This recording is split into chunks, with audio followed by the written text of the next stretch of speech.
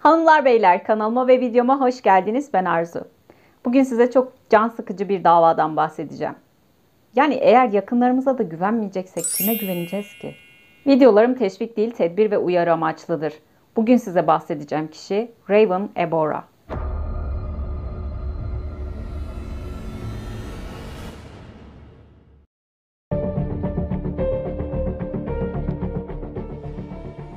İnsanlar arasında en önemli duygu güvendir. Canımızı en çok yakan ise yakınlarımızdan gördüğümüz kötülüklerdir. Hele ki en yakınlarımızdan, ailemizden birinden gördüğümüz kötülük tamamen yıkıcı bir durumdur. Raymond Ebora gerçekten masum mu yoksa cani bir katil mi? Nisan 2005 Raven Ebora bir futbol maçı yaptıktan sonra Kuzey Carolina'daki evine dönüyor. Üst kata çıktığında ise 25 yaşındaki eşi Janet'ın cansız bedeniyle karşılaşıyor. Bu sırada evde 6 aylık çocukları Caden da var.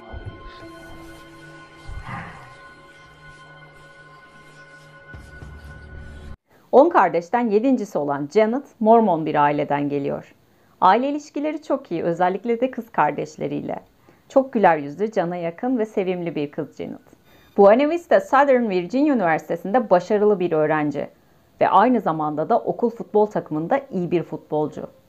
1998 yılında Raven Ebora ile bir futbol maçında tanışıyor Janet ve Raven'dan oldukça etkileniyor. O sırada Janet 19 yaşında. Sürekli kız kardeşlerine Janet'ın e, anlattığı şeyler hep Raven hakkında. Yani onlara şunlardan bahsediyor. Eğer onunla bir çocuğumuz olursa eminim o da çok iyi bir futbolcu olur. Çünkü ikimiz de gerçekten iyi futbolcularız. Ve işte Raven'dan ne kadar etkilendiğinden, ondan ne kadar hoşlandığından falan bahsediyor. Ve çift birbirlerine aşık oluyorlar ve sevgili oluyorlar sonrasında. Janet ve Raven ilişkilerini sorunsuz bir şekilde 2 yıl sürdürüyorlar. Ve 2000 yılında Mormon tapınağında evleniyorlar. Çift evlendikten sonra Güney Virginia'ya yerleşiyor. Ailesi ve arkadaşları çiftin çok mutlu olduğunu düşünüyorlar. E başlarda da gerçekten öyle. Çok iyi bir evlilikleri var ve yolunda gidiyor her şey. Kısa süre sonra çift iş fırsatı için Durham'a yerleşiyorlar ve burada çok büyük bir spor mağazası şirketinde çalışmaya başlıyorlar. Bir süre sonra çiftin evliliklerinde sorunlar çıkmaya başlıyor. Hatta Janet kız kardeşlerinden Sonya'ya şöyle bir şey söylüyor. Ben e, Raven'la artık evliliğimi sonlandırmayı düşünüyorum. Raven'ın birkaç defa onu farklı kişilerle aldattığını söylüyor.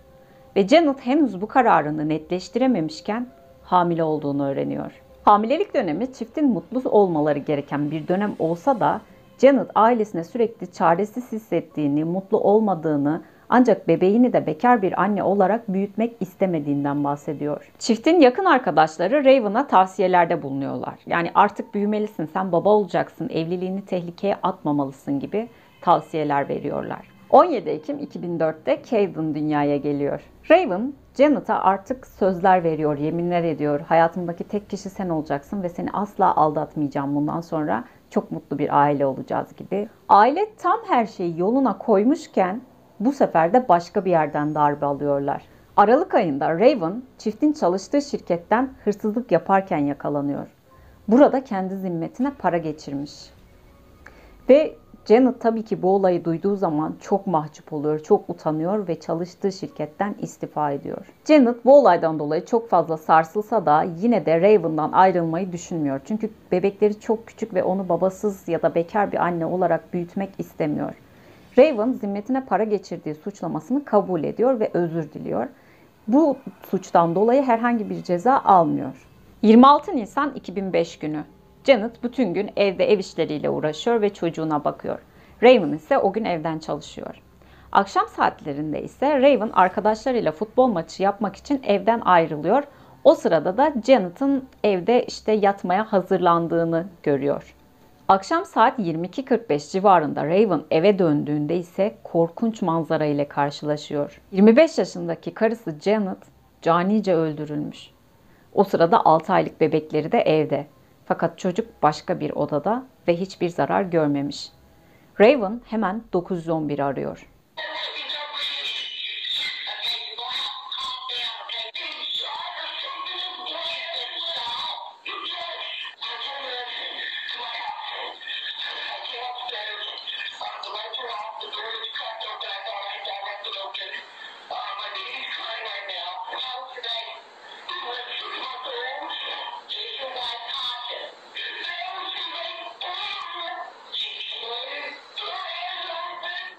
911 aramasında Raven eşinin vurulduğunu söylüyor.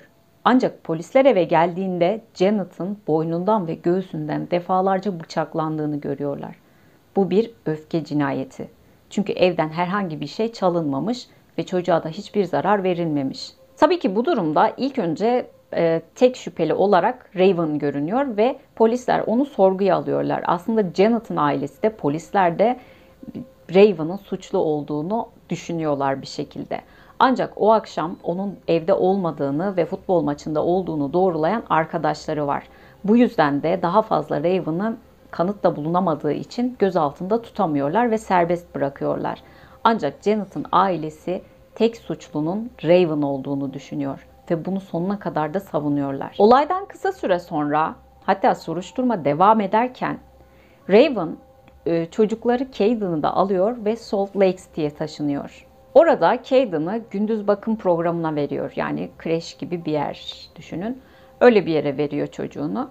Ve orada e, kendisi gibi bekar olan bir anne ile tanışıyor. Vanessa Pant Raven'dan çok fazla etkileniyor. Çok samimi ve dürüst bir adam olduğunu düşünüyor onun.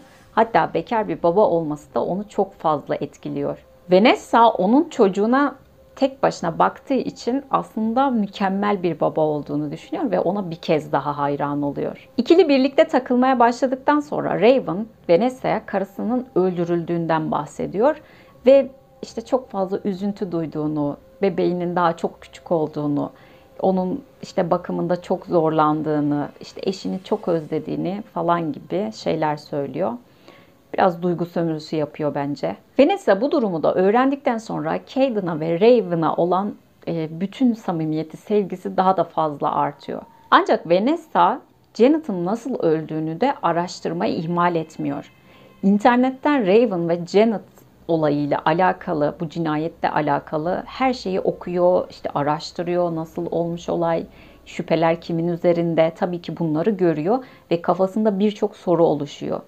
Bunun sonrasında ise Raven'ı arayarak işte o, bu durumda onun masum olmadığını düşündüğünü ve kafasında sorular oluştuğunu söylüyor. İkili buluşup konuştuktan sonra Raven ona gereken bütün açıklamaları yapıyor ve Vanessa'nın aklındaki bütün şüpheler de ortadan kalkıyor. Ve 2008 yılında Raven yeniden Vanessa ile evleniyor. Raven'ın yeniden evlendiğini duyan Janet'ın ailesi Vanessa için endişeleniyorlar aslında ve ona ulaşmaya çalışıyorlar. Raven'ın hakkında çıkan haberleri okumasını, işte bu cinayetlerle alakalı araştırma yapmasını istiyorlar. Fakat Vanessa zaten Raven'la konuşup bu şüpheleri ortadan kaldırdığını düşündüğü için bu ulaşmaları, bu çabaları, bu mesajları hiçbir şekilde ciddiye almıyor. Ta ki Raven'dan kendisine karşı olumsuz davranışlar görene kadar. Evliliklerinden kısa bir süre sonra Raven'da olumsuz davranışlar ortaya çıkmaya başlıyor. Raven'da çok aşırı hızlı bir şekilde duygu değişimleri söz konusu. Yani çok neşeliyken bir anda aşırı derecede sinirli olabiliyor ve hakaret etmeye başlıyor. Daha sonra bu durum fiziksel şiddete de dönüşüyor. Bir keresinde Vanessa'yı kolundan tutup hızla duvara çarpıyor Raven. Ve bunun üzerine de Vanessa'yı şuna inandırmaya çalışıyor. Ben bir şey yapmadım. Senin ayağın tökezledi ve kendin çarptın duvara. Bu düşünceyi Vanessa'ya kabul ettirmeye çalışıyor. Vanessa bu durumlar sonucunda Raven'ın gerçekten Janet'ı öldürmüş olabileceğini düşünüyor ve kendi can güvenliğinden de endişe ediyor. Ve evlendikten 6 ay sonra Vanessa Raven'dan ayrılıyor. 2009 yılında Vanessa polise giderek diyor ki ben Raven'ın gerçekten Janet'ı öldürmüş olabileceğini düşünüyorum. Kendi yaşadıklarını da anlatıyor ve Raven'ın hızlı bir duygu değişimine sahip olduğundan bahsediyor. Durham polisi zaten e, Raven'ı bir şekilde tutuklamaya çalışıyorlar. Yani bu süre içerisinde zaten sürekli kanıt arıyorlarmış onu tutuklamak için. Aslında Vanessa ile aynı fikirde polislerde. Ancak ortada somut bir kanıt olmadığı için hiçbir şey yapamamışlar. Vanessa'nın bu açıklamaları karşısında olayla ilgilenen dedektif bu olayı birazcık daha ayrıntılı şekilde araştırmak istiyor. Yani yeniden Janet'ın ailesiyle görüşüyor, yeniden kanıtları gözden geçiriyor, yeniden olay mahalline bakıyor, işte resimleri araştırıyor ve bulmacanın can sıkıcı kısmını tamamlıyor. Janet'ın kız kardeşleri onun lens kullandığından bahsediyorlar. Yani uyumadan önce de biz hep onu uyarırdık lenslerini çıkarmayı unutma diye. Raven da e, o evden çıkarken Janet'ın yatmaya hazırlandığını söylemişti. Bunun üzerine ortada olmayan lenslerin peşine düşüyor dedektif.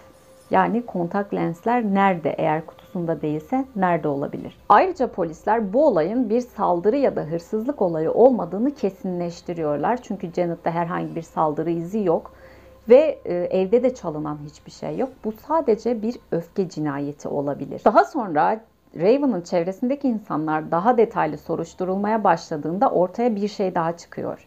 911 aramasındaki konuşmasında Raven eşinin eve geldiğinde ölmüş olduğundan bahsediyordu. Ancak kiliseden bir arkadaşına eve geldiğinde Janet'ın hala hayatta olduğundan ve neden bu kadar acıdığından bahsediyor. Daha sonra polisler Janet'ın 500 bin dolarlık hayat sigortasını öğreniyorlar ve evdeki bıçak seti de ortada yok. Bütün bu kanıtları çürüten şey Raven'ın o gece yani o akşam evde olmaması ve onun futbol maçında olduğunu gören arkadaşlarının olması. Daha sonra polisler Janet'ın ailesinin onayıyla da Janet'ın yeniden mezardan çıkarılmasına karar veriyorlar. Çünkü asıl incelemek istedikleri şey lenslerin Janet'ın gözünde olup olmadığı. Gerçekten de lens parçaları kırılmış şekilde Janet'ın gözünde bulunuyor. Janet gözündeki lenslerle gömülmüş. Yani aslında o gece uyumaya gitmemiş ya da herhangi bir yatma hazırlığında bulunmamış. Çünkü eğer öyle olsaydı lenslerini mutlaka gözünden çıkarırdı. Yani ani bir saldırı sonucunda hayatını kaybetmiş. Aslında uyurken bir saldırı gerçekleşmemiş. Bunun üzerine Raven yeniden gözaltına alınıyor ve 2013 senesinde de mahkemeye çıkartıyorlar. Jüri daha sonra Raven'ın suçlu olduğuna karar veriyor. Mahkeme tam 5 hafta sürüyor ve duruşmaların ikinci haftasında Raven gönüllü olarak bir anlaşma imzalıyor. Bu savunma anlaşması şöyleymiş. Bir sanığın masum olduğunu iddia ettiği ancak devletin yargılamada bir suçluluk kararını güvence altına almak için yeterli kanıta sahip olduğunu kabul ettiği suçluluk savunmasıymış. Yani şöyle bir şey kısaca ben size şöyle açıklayayım. Ben masumum, ben kimseyi öldürmedim fakat mahkemenin kararı karşısında da boynum kıldan incedir. Bu anlaşma sonucunda ne oluyor derseniz Raven 7 yıl 11 ay kadar hapis cezası alıyor. Ayrıca şöyle bir ayrıntı da var. Raven ve Janet'ın bazı videoları var. Bu videolarda işte Raven kendisine Christmas hediyesi olarak verilen bir bıçağı gösteriyor. İşte teşekkür ediyor falan. Aslında Raven'ın bıçaklara karşı çok fazla ilgisi var. Ve kötü bir detay daha Janet öldüğünde yine hamileymiş. Caden bütün bu süreçler aşamasında Raven'ın annesi ve üvey babasının bakımına verilmiş. Yani büyük annesi ve büyük babasıyla yaşamış. Ve 2017 yılında da Raven cezasını bitiriyor ve Utah'a dönüyor. Şu anda normal bir hayat yaşıyor. Ve bir videomuzun daha sonuna gelmiş bulunuyoruz. Beni dinlediğiniz ve desteklediğiniz için hepinize çok teşekkür ediyorum. Bir sonraki dava videosunda görüşmek üzere. Saygı ve sevgiyle. Hoşçakalın.